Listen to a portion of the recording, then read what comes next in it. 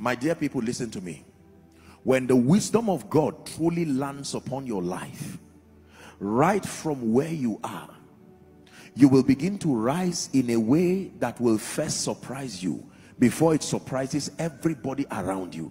The assignment of wisdom is to dress you with the robe of royalty.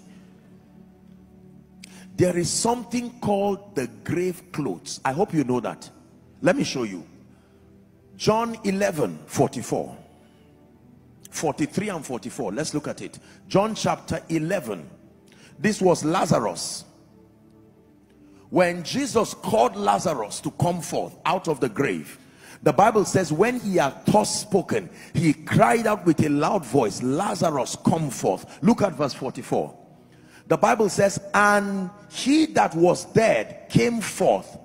Read the remaining part with me bound hand and foot with grave clothes. Hold on. It would have just said with clothes. There are clothes that belong to the grave. There are clothes that belong to failure. Situations have their garments that you can wear upon you.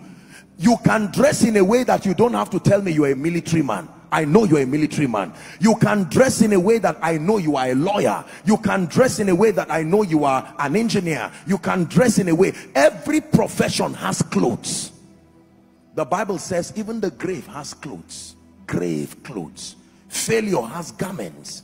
Do you not believe this? That he can give them beauty for ashes. Is that true? The garment of praise for the spirit of heaviness that they might be called the oaks or the trees of righteousness the planting of the lord that he might be glorified the assignment of wisdom is to come to you like Hegai, the keeper of the king's virgins in the book of Esther, and wisdom will begin to dress you. You came from a background with grave clothes, failure clothes, delay clothes. That means I don't need to ask what your situation is. I just need to look at what you are wearing.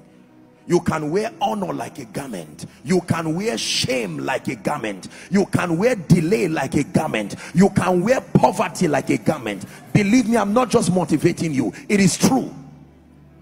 I can look at your life and I see a display of the honor, the beauty, the order of God and I can look at your life and I see that everything there is just ashes. You are wearing certain clothes. Let me tell you the assignment of wisdom. When the anointing of the spirit comes, it took power to bring Lazarus out of the grave. But he told the men, he said, walk to him, lose him. Give us 44. The Bible says, Jesus said to them, my power has been displayed now in his coming out of the grave. But if you leave him that way he is out of the grave but he's still in trouble because his hands and his feet were tied and a garment was on him. He said lose him walk to him use order and principles to walk to him. Lose him and let him go. The power of God can bring you healing.